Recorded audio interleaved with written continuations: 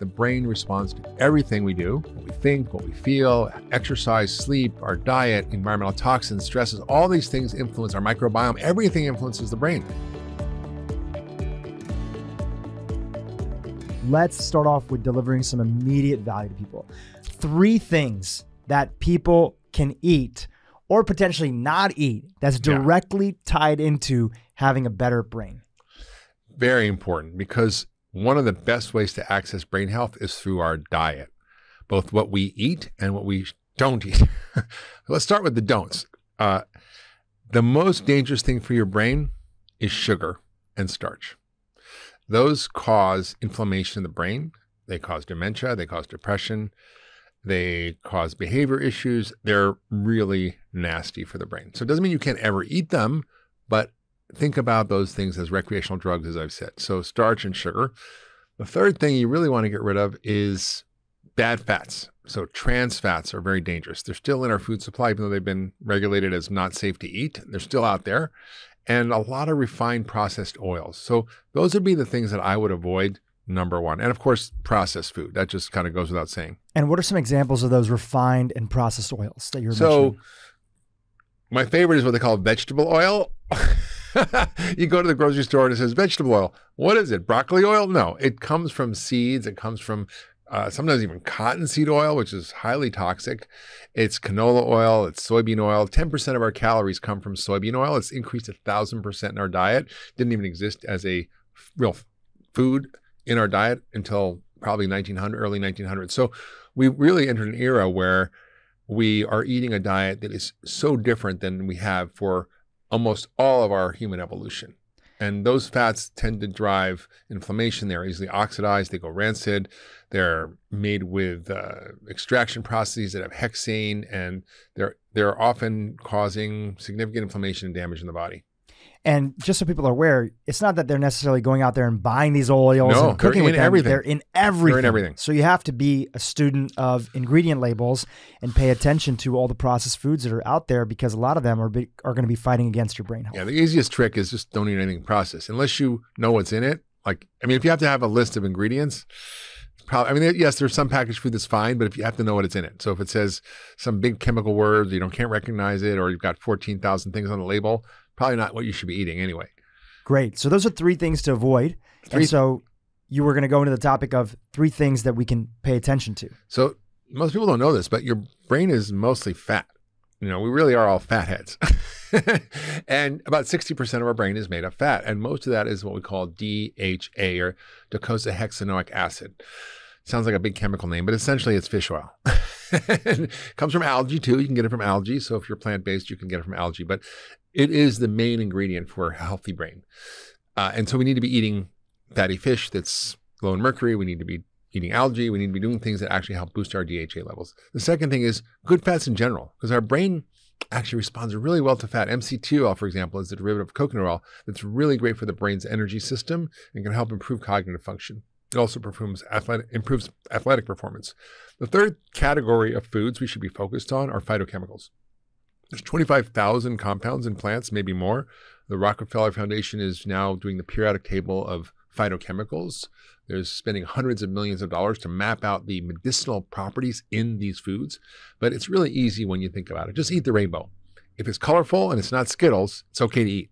So, all the dark colored vegetables, greens, blues, purples, reds, yellows, those foods that contain these pigments are full of these phytochemicals. And they're really extraordinarily helpful in regulating brain function in so many different ways. As a bonus one, how about hydration? It seems like that's one area that's often overlooked. You know, one of the things that uh, often people forget about is the bottom of the matrix in functional medicine, which is the sort of the, the map we use to figure out what's out of balance for people. And hydration is really, really important because most of us walk around dehydrated. Most of us don't drink enough water. We have other fluids like sodas and juices and coffees and teas, but we don't really have enough water. And often when we do, we're not getting intracellular hydration, which is so critical. So not only in your bloodstream, but inside your cells, which is what makes you feel good. So it gives you energy and performance. So uh, my favorite um, athletic performer is Tom Brady, and he never drinks water without electrolytes. Maybe that explains his seven Super Bowl rings. I don't know, but I agree. I I've using electrolytes in your water is so important, and not the kind with tons of sugar and all kinds of weird stuff.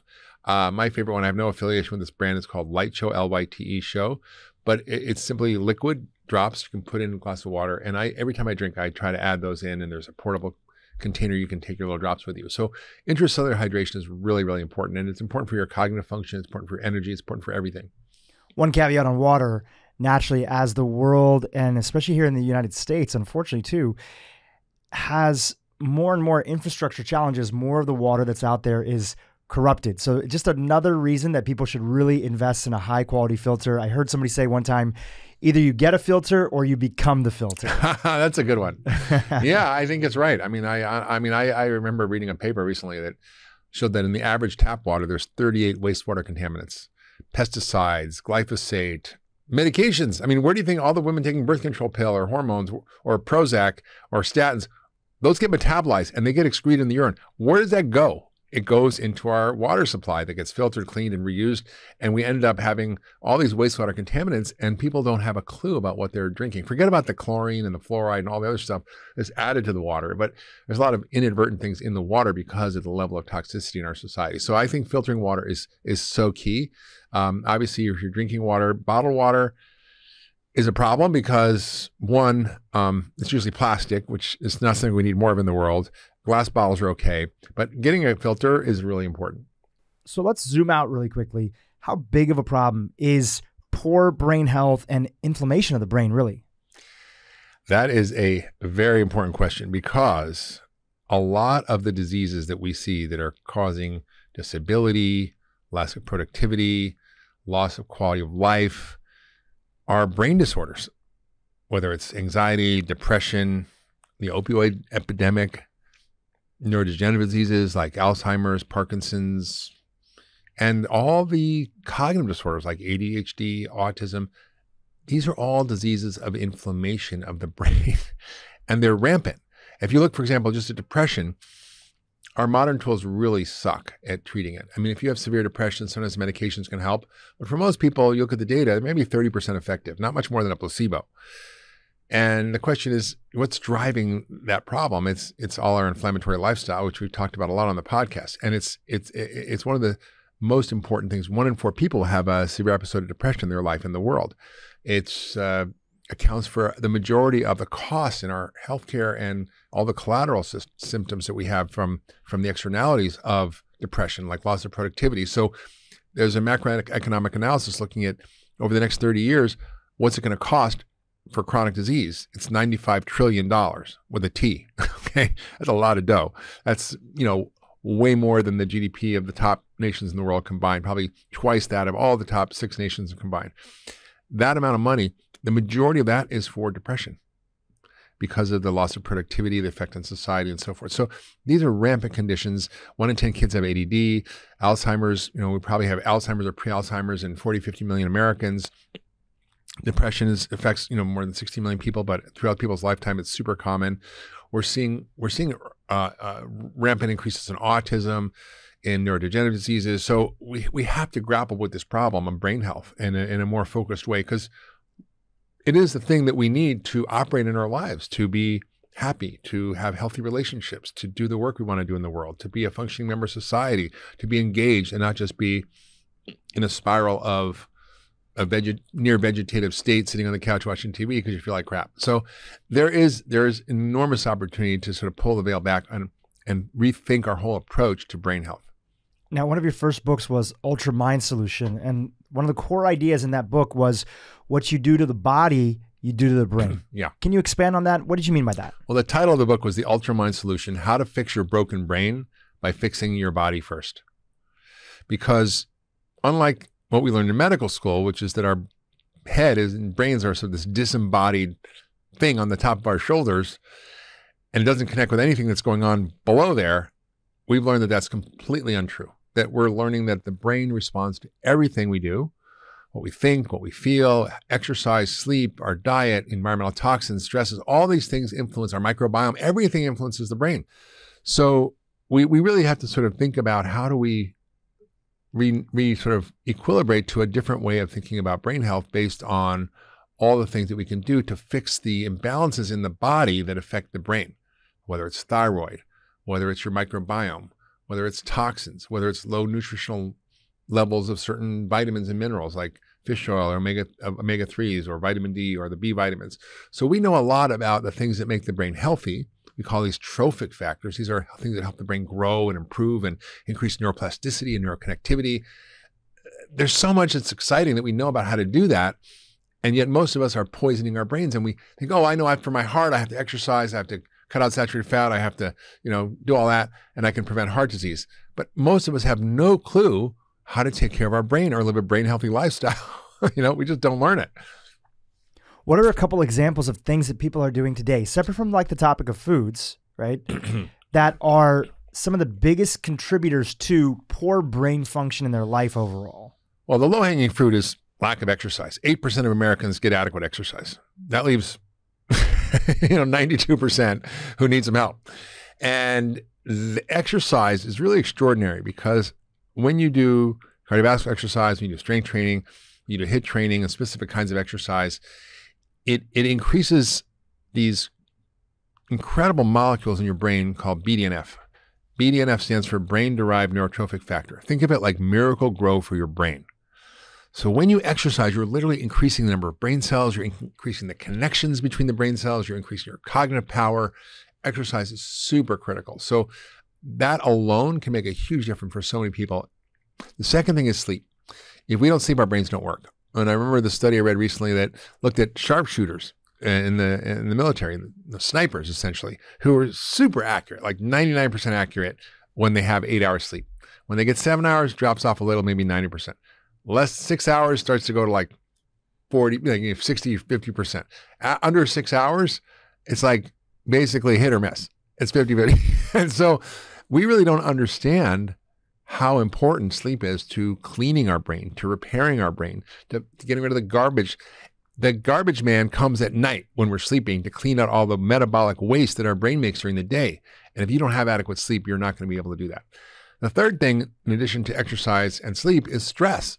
we know that chronic stress, now we all have acute stresses, but the chronic, unmitigated stress of our modern life and whether it's coming from the world we live in and all the chaos, whether it's coming from inflammation and stress that our diet causes, because our diet literally causes us to build more adrenaline and cortisol in our body, like high starch and sugar diets, whether it's our sedentary lifestyle, all these things drive our our brains to to not function properly.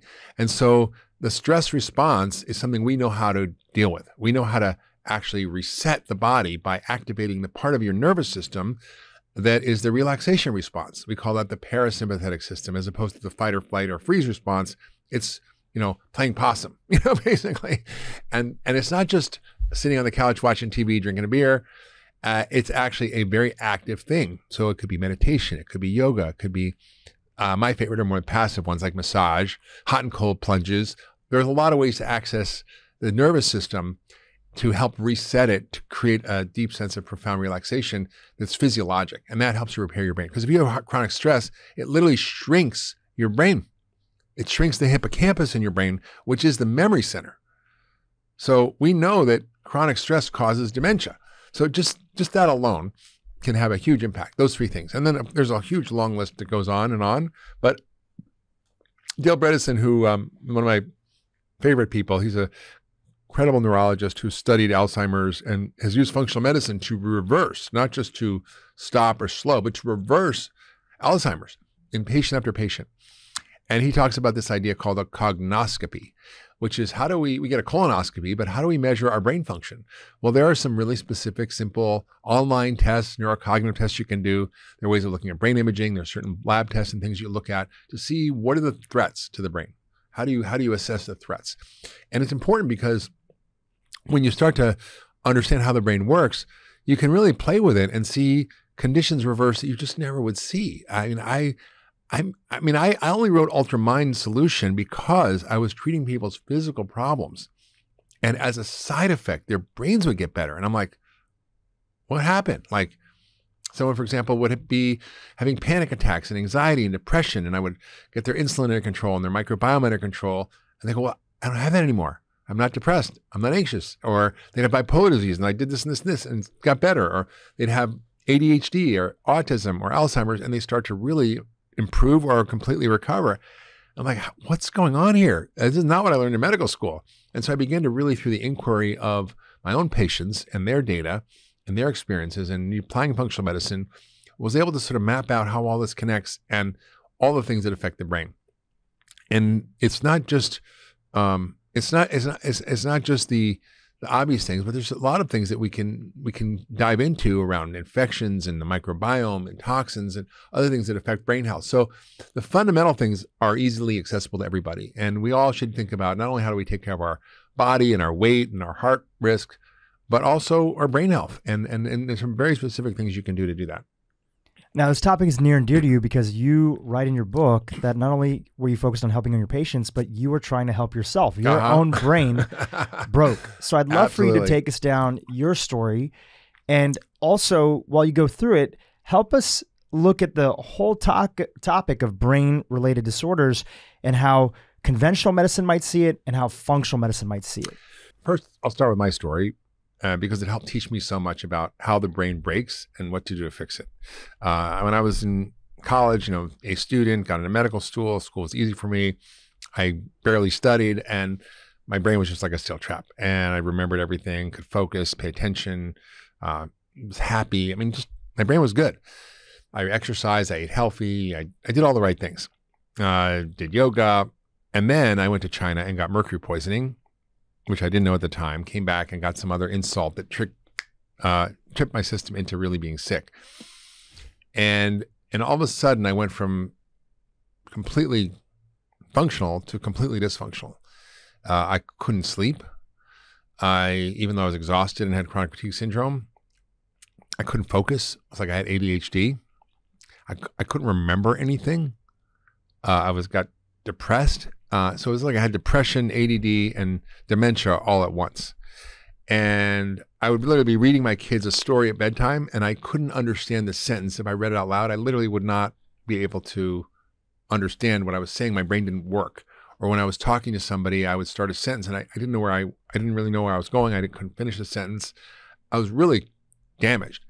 And so through understanding my own biology and reverse engineering my way to health, I began to understand you know, all the factors that affect uh, brain health. And that's really why I wrote the Ultramind solution because it's what I learned on myself, but it's also what I began to see on nearly thousands of patients. Talk to us about some of those root factors that were going on for you that might be beneficial for other people to hear. What was going on in your life that contributed you to being in that place in the first place? Well, I had a bunch of stuff. I mean, I I I was in a um, crazy work schedule. Uh, I was working as a ER doctor after I came back from China, not sleeping. you know, I literally would was doing 15 shifts a month, which doesn't sound like a lot, but it's a lot. And I was staying up all night, many, many nights. I would I was taking care of my two kids. My ex-wife was an alcoholic, and it was really a tough moment and a lot of stress and a lot of work and a lot of sleep deprivation. And then I would, you know, go to the emergency room and I would have an 11 o'clock to 7 a.m. shift at night and I would drink a quadruple espresso, a giant chocolate chip cookie, and a half a pint of ice cream. And I'd get in the car and I'd drive to work, and I'd last probably till five in the morning. Hopefully, it was quiet enough I could take a nap. Uh, and I did that for years. Uh, and so, between that stress, between the difficult stress in my life in terms of my marriage, and also this mercury underlying mercury toxicity that then got tripped into full expression when I had a severe intestinal infection. That was sort of the straw that broke the camel's back and ended up just cascading into years and years of me trying to figure this out. And I got terrible diarrhea for years, SIBO, bacterial overgrowth. My muscles were getting damaged. My immune system was dysregulated. I started getting sores on my tongue, rashes on my body, autoimmune antibodies. My liver function went up. I mean, my whole lab test looked terrible. And I was a mess. Uh, and doctor after doctor was like, well, you're depressed, take Prozac, or you're anxious, take Xanax, or you can't sleep, take Ambien, or, you know, it's like, it was, it was that. And I remember, uh, and I started getting weird fasciculations and all kinds of weird symptoms, and my my muscles were twitching, and my muscle enzymes were really high, which means my muscles were being damaged. And I remember going to uh, Columbia and seeing these top neurologists who's an expert in this type of thing. And uh, they ordered a test called the EMG, which is no fun. Essentially, they stick giant needles in your muscles, and they then send electrical currents down them to see what's going on. and this guy was this old British doctor there who was running the test. And he said, Oh, you have ben- benign fasciculations, which means your muscles twitch, but it's not serious. It's not ALS, which because it could it could have been ALS. And uh, and the uh, and he goes off the record, this isn't normal. Like there's no such thing as benign fasciculations. you don't have ALS, but it's something else. And I thought, oh, you know, so that and that was even before I figured out the mercury thing. I just I just didn't know what was going on. I was searching and searching and searching. So it took a couple of years for me to actually figure out the mercury thing before I was able to get better. What was part of that turnaround process, which also was the introduction for you into the world of functional medicine? Like, how did you begin to look at things differently and then start to treat yourself? Well, I was always a little weird. I mean, I always, you know, I studied nutrition in college and was a yoga teacher before I was a doctor. Was interested in integrative health. They didn't even call it that then. Um, and I was always exploring the edges. Studied ancient healing systems, Chinese medicine. So I always had a different framework that I was coming from when I went to medical school. Uh, and then when I um, got a job at Canyon Ranch, it's right when I got sick. Uh, and I met a woman named Kathie Swift, who was a nutritionist there, and she's like, "You got to come to this lecture from Jeffrey Bland." And I'm like, "Okay." And so I went to hear this guy speak, and I listened to him, and I thought, oh, "This guy's a genius, or he's a lunatic." And if what he's saying is true, it it it means that everything I learned needs to be re-examined, questioned, and reimagined. And I need to prove that to myself and my patients. So I said, I'm going to try it on because if he's right, it's a game changer. If he's wrong, he's just a nut who's promoting a lot of stuff that's kind of goofy. And it turned out he was right. and the rest is history. And that's when we really started diving into functional medicine at, at Canyon Ranch. We had a great incubator where we could spend hours with patients. I could dig into all these things. I could learn everything. They were willing to do stuff. And so it was really a great incubator. And then uh, I just kept going down that rabbit hole and healed myself and started healing thousands and thousands of patients. So, what was one of the first things, and we're going to touch on your story, but these are also things that people can walk away with when it comes to their own story, too. So, what was one of the first things that you did when it came to your diet? You're eating chocolate chip cookie, double espresso, you know, you had all this sugar in your diet. What was one of the first things you did when it came to your diet? Uh, well, I, I literally had to do an elimination diet because the mercury not only affected my brain, it affected my gut, which, by the way, they're totally connected, right? There's called your second brain. There's more neurotransmitters in your gut than in your brain. There's more nerve endings in your in your gut than your brain. It's really quite fascinating. And my gut was a mess. And so I developed leaky gut. I developed SIBO, which wasn't even a thing at the time, small intestinal bacterial overgrowth, fungal overgrowth. I would eat anything and my stomach would just blow up like a balloon. Like I had gas. It it just wouldn't come out, and I felt like I was had a you know like a, a giant sort of tire inflator that just blew up my intestines, uh, and it was painful and difficult. And I had diarrhea and I undigested food in my stool, and it was just kind of a mess.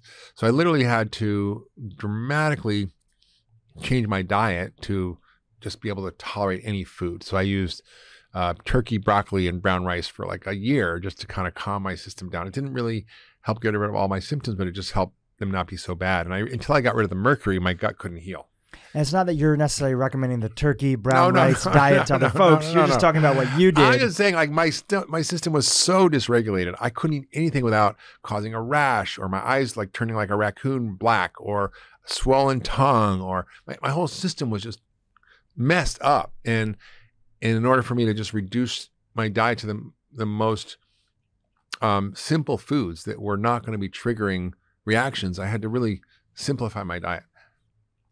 So that's what you did then. If you were your patient today, what would you do for that person in that same situation when it came to the topic of diet? if I had me as a doctor when I first started this, I would have been better a lot faster. I wish I, but like I literally had to crawl my way through knowing. And and by the way, it was really tough, Dhru, because uh, not only was I sick, but it was very hard for my brain to work. So I literally had to, despite having my brain barely functional, still try to learn and focus enough to try things. And it was really tough. It was really, really tough. It's like kind of like trying to like, um, you know, get out of a very deep hole and a black hole. And, and it was tough because I didn't, I didn't have the full capacity of my mind.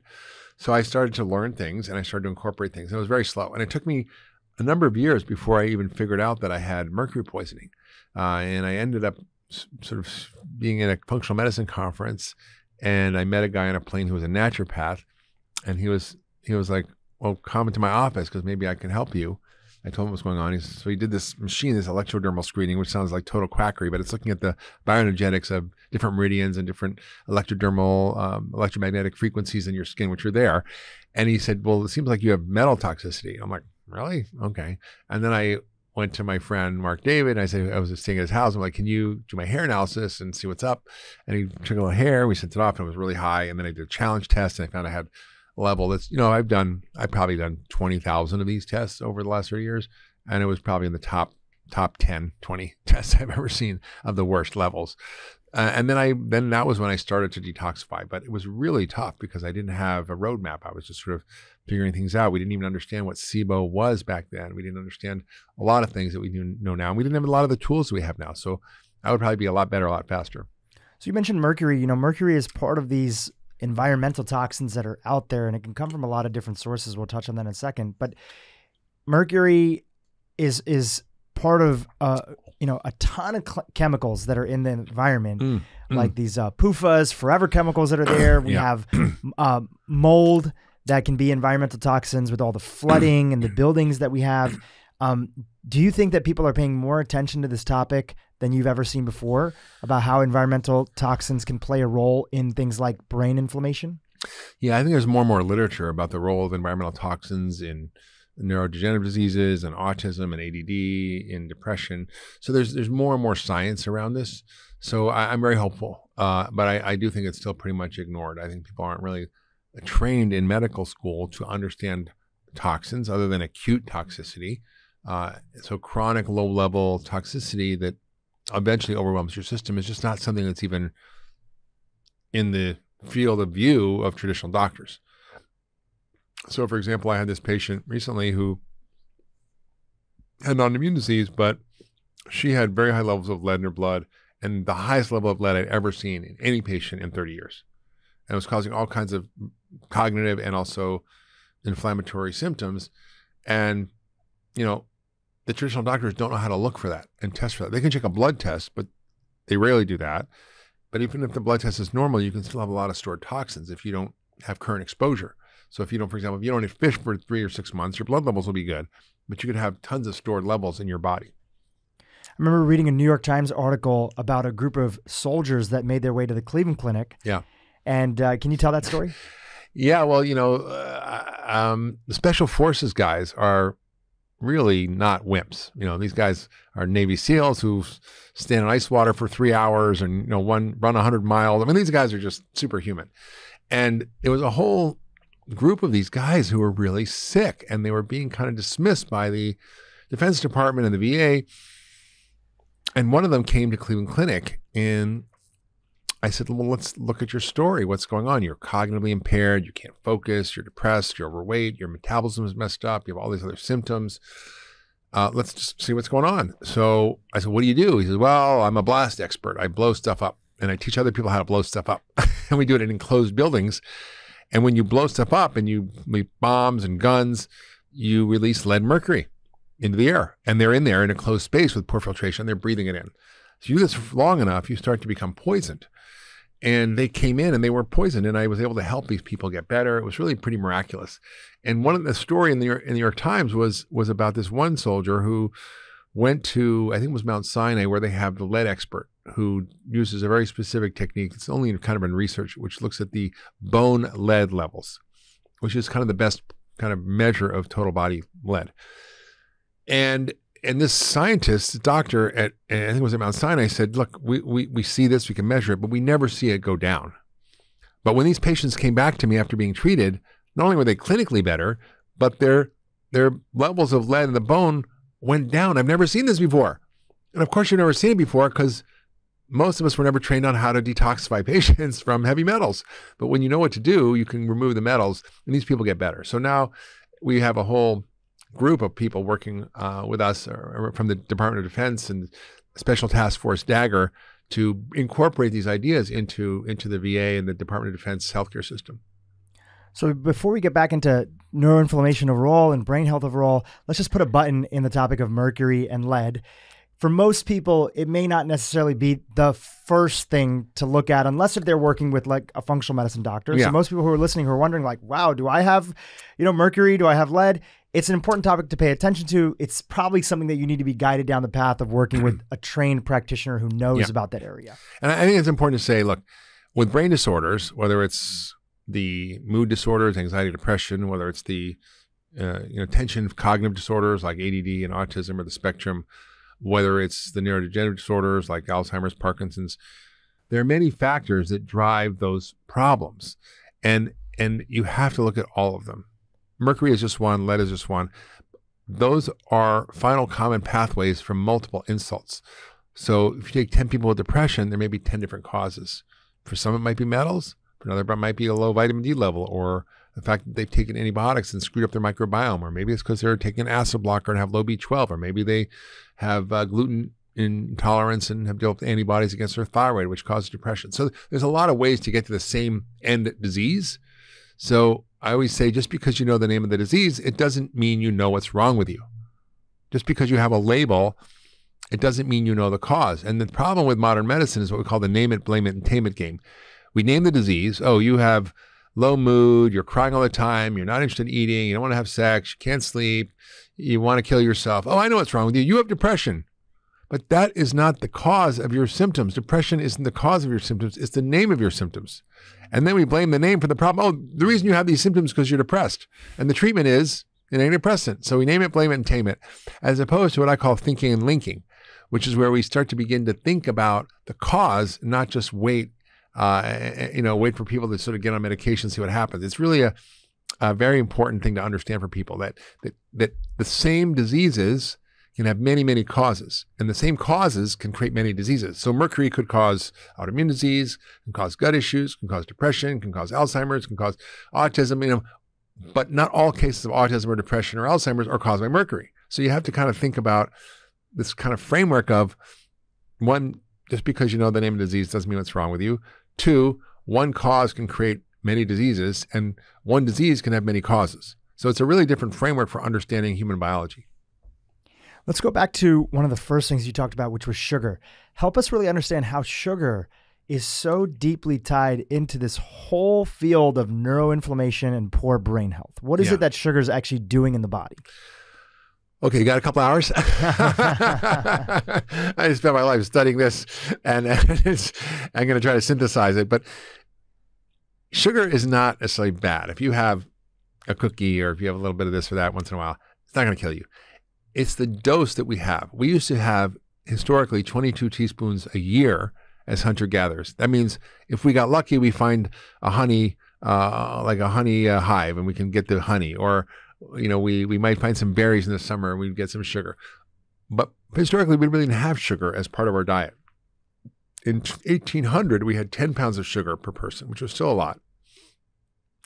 And now, in 2020, we have about 150 pounds of sugar per person per year.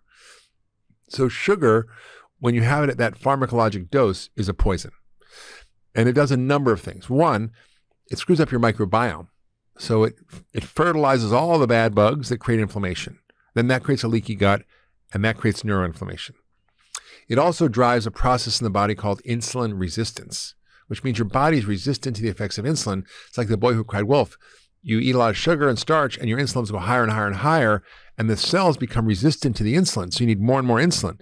But the consequence of that increased insulin is that you get more fat storage in the abdominal fat and the belly fat. And those fat cells are not just there holding up your pants. They're very special kind of fat cells. They're not like the fat in your butt or in your thighs or whatever. They're highly active organs. They produce hormones. They produce cytokines. You've heard of the cytokine storm from COVID. They produce all kinds of inflammatory molecules like IL 6, uh, IL 1, and tumor necrosis factor alpha. These are very powerful inflammatory molecules that are coming from your fat cells. So that drives systemic inflammation throughout the body, and you get neuroinflammation. Third, we now know that in Alzheimer's disease that uh, there's a huge problem with glucose metabolism and it's insulin resistance of the brain for many patients. Not all Alzheimer's is insulin resistance of the brain, but they're calling Alzheimer's type 3 diabetes now because of this impact of insulin resistance in the brain. So there's a lot of ways and pathways through which this causes a problem. And and uh, I'm not saying never have sugar. Of course I have sugar. It's just what is the overall balance of your diet? Is this a staple? Is this a daily commodity that you're drinking for breakfast, lunch, and sh- dinner. I mean, America, we have sugar for breakfast, lunch, and dinner. It's in our cereal, it's in our salad dressings, it's in tomato sauce. I mean, there's more there's more sugar per serving of tomato sauce than there is in two Oreo cookie, two Oreo cookies. so we got to get kind of real and get all the hidden sugar out of our diet. I'd love to give. You were so kind to share your own testimony earlier and some of the things that worked for you. Let's talk about a couple other case studies from your practice of people you've worked with. Let's start first with the topic of depression. Any Yeah. case study that comes to mind? Well, you know, I, I, I remember this one patient who was severely depressed. She was in her early 30s, uh, an executive coach, and uh, sort of really struggling. Uh, and and she had crippling depression. She also had sinus problems that were intractable. She was overweight. She was very inflamed. She had a lot of gut issues. She had tons of yeast overgrowth, and was kind of miserable. Uh, and she came to see me, and I took a look under the hood and found that she had a lot of inflammation in her body that was secondary to high levels of mercury. This patient had really high levels of mercury, like 300, which is mine was 187. This was on off the chart. And the, the mercury was causing the weight gain because it's a metabolic toxin. It was causing the gut dysfunction because it poisons the gut. It caused the yeast overgrowth, which is because the mercury causes yeast overgrowth, and it caused her depression. And so we systematically treated her by cleaning up her gut and the yeast, by clearing up mercury. Her sinuses got better, the weight came off, her depression went away, and it took a number of years to get that much mercury out of her body. But I just saw her after 10 plus years, and it's amazing. She's still doing great. So the, the, the beauty is that is that you can take people with really intractable problems if you know how to navigate to the cause, which is what functional medicine does. You really can make a huge difference for these patients. How about a kid or children with, uh, uh, you know, a brain disorder? Yeah. Somebody that you have a case study that you worked with before. Well, I have an autism case. It's a that's a long story, but I've seen kids with autism get completely better using this approach because when you look at brains of autistic kids or people with ADD, they're inflamed. There's a whole immune system in the brain called the microglia, and they can create an inflammatory process in the brain. And on MRI scans, you literally see large brains, swollen brains on these kids. When they do autopsy studies of kids with autism for died in a car accident or something, they'll see their brains are filled with these inflammatory cells, and they're they're inflamed. So the question is, what's causing that inflammation? And kids with autism are like the canaries in the coal mine. This one kid I saw was 22 months old when he started getting symptoms. So he had regressive autism, and he had you know a lot of antibiotics early on. You hear the same story: C sections, lack of breastfeeding, early antibiotics, and then they, you know maybe getting vaccinated when they're sick. I'm not saying vaccines cause autism. I'm just saying that it can be part of the the mix that triggers a dysregulated gut and immune system to go haywire. And there's a whole field of vaccinomics, which is fascinating, which is looking at how individuals respond differently to vaccines. So this kid had had terrible gut symptoms, sticky, smelly poops. He, you know, was nonverbal at two and a half. He couldn't look at you in the eye. He he was just a mess. Um, all the classic symptoms of autism. And was told by the by the doctors just you know give him some behavioral therapy. Good luck, and you know eventually end up in an institution because he had really severe autism. So all I did was what I normally do is I I did my analysis of what are the factors that cause disease, what are the factors that are needed to help thriving and health, what is he missing, what does he need to get rid of. Basic functional medicine approach. We found he had terrible gut dysbiosis. He had three species of yeast. He had leaky gut. He had bacterial overgrowth. He had massive nutritional deficiencies in vitamin D and zinc and magnesium and the B vitamins, B6, B12. And he had a significant mercury in his system as well. So we began to treat these things we got rid of the metals in his system. We fixed his gut. We cleared out the bad bugs with antibiotics and antifungals. And we reset everything. We gave him all the nutrients he needed and B12 shots. And this kid literally became normal. And I was like, whoa, this is crazy because I learned that autism is not reversible. Now, that's not to say that every kid will respond this way because there are many factors. And I've seen kids with autism that have more you know, fixed problems that, for example, genetic, and I look at all their lab tests and they're normal. I'm like, I don't know what to do because they're normal. Uh, so there is there is a way to navigate the brain health field by looking at all these factors. And I've had kids with ADD that completely normalized by simply getting them the things that they need for their bodies and their brains to thrive. Let's do another one, and that's on the topic of you shared about uh, Alzheimer's earlier, and sort of uh, Alzheimer's, dementia, all the neurodegenerative diseases that increasingly more and more people are suffering from. You had a patient that uh, came to you um, and was a referral over who was a who was a gentleman that was running a company and was thinking about retiring early well, he did, because his brain was so yeah. messed up. Talk to us about that.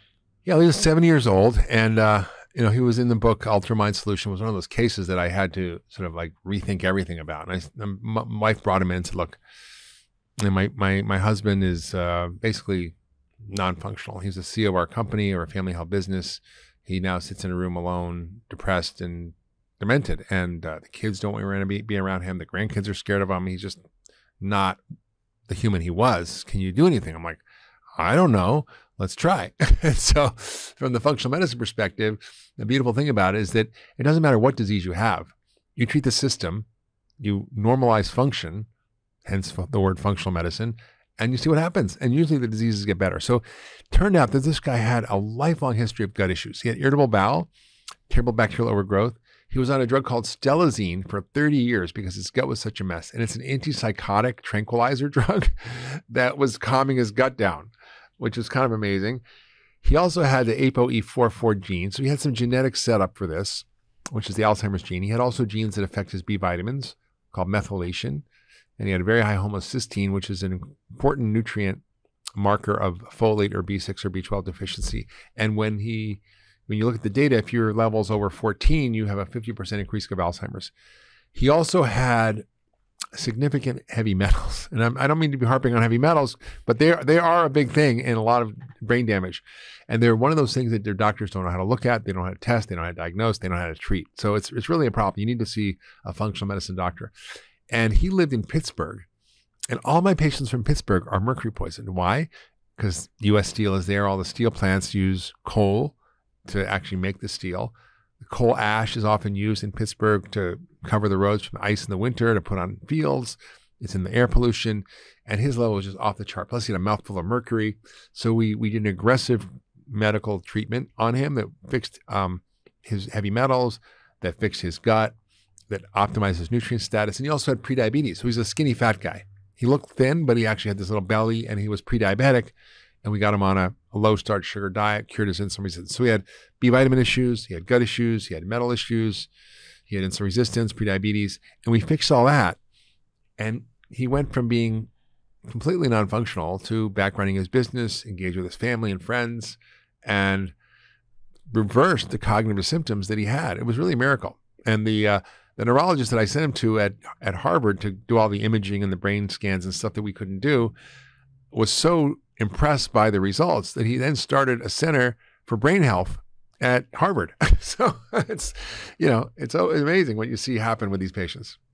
So as you mentioned, sometimes a person might need to work with a functional medicine doctor, but a lot of times people can take steps and head in the right direction just even through a little bit of self-guided and in some cases at-home testing. So I want to talk about testing. And are there any tests that are out there? You mentioned genetics, for example. You also mentioned uh, you know, omega 3s and getting more of those in your diet. There's like a simple at home test that people can do. We have no affiliation with them that yeah. they can see their omega 3s. So give a few of these at home tests and your thoughts in general about them and if they can be part of the uh, puzzle pieces for people to figure out how to get to the root causes that are going on with them. Well, it's interesting. I see a lot of companies popping up that are focused on home health testing, that are focused on giving access to their data for people that are creating companies that are allowing people to start to do the diagnostics themselves and be part of a, uh, a sort of a self care process that often you know we surrender to our doctors. And so there's a lot we can do ourselves. Uh, I believe that people should be empowered with their health information. They should be empowered with their diagnostic test. They should be just told your tests are okay and I'll see you later and come back next year. And they, they can actually start to look at some of these things. Um, the current landscape of self testing is limited now, but there's things you can do around food sensitivities. There's things you can do around hormones. There's things you can do around around um, you know gut testing. So there's there's stuff that's starting to come out. I, I, don't think we're quite there yet for everybody. There's genetic tests like 23andMe, so people can get a sense of what to do. Um, but what would be more exciting for me is some of the companies that are coming out creating 360 solutions, where they're doing diagnostic questions. They're kind of guiding you in what you should do and how to fix these things. I, I think we're not quite there yet, but we're to get there. And what do you think about continuous glucose monitors and their ability to be a pro- part of the process of people figuring out what diet is right for them? Right. So before and measure your blood sugar, you had to go get a blood test with a regular needle, or you'd have a finger stick test, which is annoying and painful, and you have to machine. They've developed these new technologies called continuous glucose monitors, which are little patches you put on your skin with a tiny, tiny little needle that goes under the skin. And there's even more advanced ones coming out that are just going to be like going through your skin. You don't even have to put a needle in. And they measure your sugar continuously. And so you can see what's affecting your blood sugar, what's making it spike up and down. And you can know, oh, gee, I'm eating this. If I eat this, if I eat a plum, my sugar goes crazy. But if I eat a blueberry, it doesn't. Or if I have this, you know, meal in this way or that way, it affects what if I have a glass of wine before my meal, it's way worse than I have it with my meal. So you begin to learn about your own biology. And what's really interesting is that it's not uniform. So, for example, there's something called the glycemic index or glycemic load, but it really depends on the person, right? If you look at a study, for example, done out of Israel, they looked at the same foods on different people, and depending on their microbiome, their blood sugar levels were quite different. That's just one variable, the microbiome. But there's many other variables, genetic variables, nutritional status variables, um, and, and so forth that are going to affect your metabolism. So learning how your body works, getting the continuous glucose monitoring is a super helpful and personalized way to identify what works for you and what doesn't. So I, I'm a big fan. Let's talk about supplementation. There are a lot of companies that are out there that are advertising that this supplement is the best thing ever uh, for brain health. Hmm. What are actual supplements that have a strong evidence base for supporting brain health on top of all the basic lifestyle stuff? And what are ones that are maybe we should be a little bit skeptical or maybe watch out for when it comes to a category? So uh, they're called supplements, not replacements. and so if you're eating a crappy diet, not exercising, under tons of stress, not sleeping, exposed to toxins, and your microbiome's a mess, you know, you're going to not really see huge impact. And you you you you know you have to really look at addressing the factors that are causing the imbalance that we talked about. And then when you start to put these ingredients in the body can really respond right? So the most important one is dha for the brain which is docosahexaenoic acid. It's an omega-3 fat comes from fatty fish. You can get it from algae. That would be my number one. Uh, there are really important cascades around b vitamins and detoxification that are important. These are genes that affect your metabolism of folate, B6, and B12, and also glutathione. So, taking B6, B12, and folate, super important for the brain. Magnesium, also really important for the brain. It, it helps deal with anxiety. It, it helps to stimulate a receptor called uh, NMDA in the brain, which calms down the sort of overexcitation that happens in the brain that leads to inflammation, oxidative stress. So, B vitamin, fish oil, vitamin D, magnesium. These are staples for the brain. Do you want to know my secrets for living a long and happy and healthy life? Well, all you have to do is check out my weekly newsletter, Mark's Picks, where I share my favorite tips for health, longevity, well being, and lots more. Check it out and the link below. So let's go into some questions from our community. And starting with the first one, what are the top foods for brain health? So you already mentioned a few, but maybe you can expand on this a little bit further and add in some additional ones that you didn't get a chance to talk about. Sure. So so the categories are, you know, omega 3 fats, other good fats, and polyphenols. Um, and then there's a whole category of other things that can be helpful. So in terms of the omega 3 fats, the fatty fish is really important. We talked about things like olive oil, avocados, nuts and seeds, great for the brain. Um, walnuts look like a brain, kind of a brain food. They have good omega 3 fat levels. Also, eggs are really amazing. So, eggs have gotten a bad rap.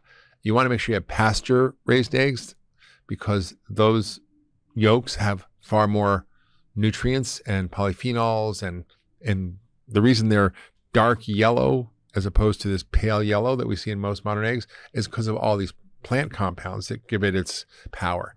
It also has choline, which is super important for the brain because it's one of the neurotransmitters is acetylcholine, and you need choline to actually help your brain work properly. So it's really great in terms of, of the brain. So I, I think eggs are a great brain food. We also have um, all the berries. They're great because they have this class of compounds called proanthocyanidins, which are powerful antioxidants, anti-inflammatories. Uh, dark green leafy vegetables also really important uh, because of things like vitamin D, sorry, vitamin uh, K and folate, lutein, many other compounds that are great for the brain, um, and of course um, turmeric, which is a spice that we use a lot in the Indian cooking, but it's it's a wonderful, powerful anti-inflammatory that has really been effective for the brain. So those are some of the top ones I think about. Uh, there's some all the other ones that maybe we're thinking about, like like green tea, which has a lot of catechins, uh, theanine, which is calming for the brain. So there's a lot of benefits from those. Next question from the community What is the role of CoQ10 in the brain? Well, this is a big rabbit hole. So, one of the things that people need to understand is that your brain is one of the biggest consumers of energy in the brain. We, we've heard the stats that it's, you know, 5% of your brain body weight or something, or maybe less, three pounds. So that's like a fraction of a percent, I guess, but it consumes 25% of the energy in the body because it's very busy. And in each brain cell, there are tens of thousands of mitochondria, which are the energy factories in your cells that you need to actually run your brain. And if you have low energy in your brain, you have Alzheimer's, you have autism, you have Parkinson's, you have all these things that are really an energy deficit. So the question is, how do you build energy in the brain? It's all things we talked about so far, but there are certain nutrients that are so critical for reviving and helping the mitochondria function better. CoQ10 is one of them, but there's many more. Carnitine, um, CoQ10, ribose, um, N-acetylcysteine, NAD. There's a whole cocktail of mitochondrial supplements, lipoic acid, uh, B, B vitamins, niacin, riboflavin, that are so critical to making energy. So think of your energy um, cells as having a, a production line where they take food and oxygen and they convert it to energy that your body uses. That production line has a lot of steps, and each step requires nutrients. And if you're deficient in any of those nutrients, you become dysfunctional in terms of making energy, which has all these downstream consequences in terms of not just brain health, but every aspect of your health and aging. So, taking a cocktail of mitochondrial supplements is really important. There's a woman named Suzanne Goh who presented grand rounds at Cleveland Clinic, who's a pediatric neurologist trained at Harvard, Oxford, brilliant woman, published in New England Journal, JAMA, all the top journals. And she's done fascinating functional MRI studies looking at imaging of mitochondria in autistic kids. And she found there's a subset of kids who have really poor energy metabolism in their brains. No wonder they can't connect, focus, pay attention, do anything. So she gives them a cocktail of mitochondrial supplements, and these kids get better. That's not to say that all kids with autism get better with mitochondrial supplements. It's those kids who have that particular pathway and deficit, right? Remember, I said just because you know the name of what you got doesn't mean you know what's wrong with you. If you have autism, it just means you have no social skills. You may not be talking. You have repetitive behaviors. There's certain descriptions we give to the behavior, but we're not talking about the cause. So, uh, you know, when you see these studies that are, these are not even quote functional medicine studies. This is mainstream medical journals but it's using the principles of functional medicine of how do you create energy right? So so the the difference between functional medicine and conventional medicine often is conventional medicine is about stopping suppressing inhibiting pathways right? The anti-drugs antibiotics anti-inflammatories the blockers the beta blockers the calcium channel blockers right? Or we had the inhibitors the ace inhibitors. So we inhibit block and anti everything as opposed to optimize and enhance function so functional medicine uses compounds that help the body do what it's supposed to do naturally, which is how do you make energy naturally? Well, you have all these different compounds in your diet and the supplements that you can take that help these pathways. So when you enhance function, there's really no side effects. It's actually using the natural pathways of the body to optimize your health. What about the role of caffeine in the brain and the body? Good, bad thoughts? Okay. Okay. So caffeine. Well, yes, caffeine gives alertness, focus, attention, but often you get a crash. So it, it creates a temporary boost in focus and energy, but then it depletes adenosine in the cells, which depletes energy. And often you'll get a crash after. So depending on your genetics, your ability to metabolize caffeine, how fast you are, how slow you are, it's going to affect you differently. Uh, there are in, in coffee and tea other compounds. So I often say that coffee is Uh, sadly the number one source of antioxidants in the American diet because Americans have such a crappy diet that there's no other antioxidants because 70%, 60% is processed food. That doesn't mean that, that you should be drinking a lot of coffee for the antioxidants, but it is a source of antioxidants and polyphenols, and they may have brain benefits. So, same with tea, catechins and other polyphenols in green tea and other teas actually may have beneficial effects on inflammation, oxidative stress, detoxification. So they can be very helpful. But I think I think over caffeinating ourselves is probably not a good idea. so let's recap here. When it comes to improving our brain health and things that we can do today, starting today, like step one, two, and three, what do you want to share with our audience here as we start to wind down today's masterclass? Well, I think the first thing people understand is that they need to learn how their brain works, what makes it thrive, and what damages their brain. And they need to systematically go through their life and reduce or eliminate the things that damage their brain and add in the things that help their brain. So, what are the things, what are the worst things that damage your brain? Sugar and starch, processed food, stress, lack of exercise, lack of sleep. Those things are fixable by anybody without seeing a doctor, right? And then there are things that the brain needs to function. You need a lot of good fats, a lot of omega 3s. You need a diet that's high in polyphenols, these colorful plant compounds. You need a diet that's rich in certain nutrients like magnesium and vitamin D and the B vitamins, so leafy greens and colorful fruits and vegetables and nuts and seeds. Uh, you need to make sure you exercise because that's one of the best things you can do for your brain. Meditate, do yoga, uh, make sure you get eight hours sleep. These are just simple things you can do, and and there's a much more much more depth about how you can even go down the rabbit hole of you know balancing your circadian rhythms and light therapy and various kinds of we call hormetic therapies, which are therapies that give your body a stress, but then it responds by creating a healing response. So it could be hot and cold plunges. It could be you know, certain types of exercise. There's ways of actually stimulating the body to repair and heal. Uh, then there's even, you know, more therapies that people can think about for their brain, whether it's uh, regenerative therapies like ozone, exosomes, hyperbaric oxygen therapy. These are all things that are coming down the pike that can be really helpful in repairing and recovering brains. But for most people, the basics work so well and are really things that you don't need a doctor for. Well, you have an entire two-part series on brain health. It's I do. Broken we Brain do. One you do. and Broken Brain Two, and people can sign up for it and watch it. It's on your website at drhyman.com. And if you sign up for Dr. Hyman Plus, you get access to that and your longevity docu series and a ton of other really great stuff, including premium episodes of your podcast. So that's a great recommendation for where people can go next. Uh, Mark, this was a fantastic masterclass and a fantastic breakdown of a topic that so many people care about.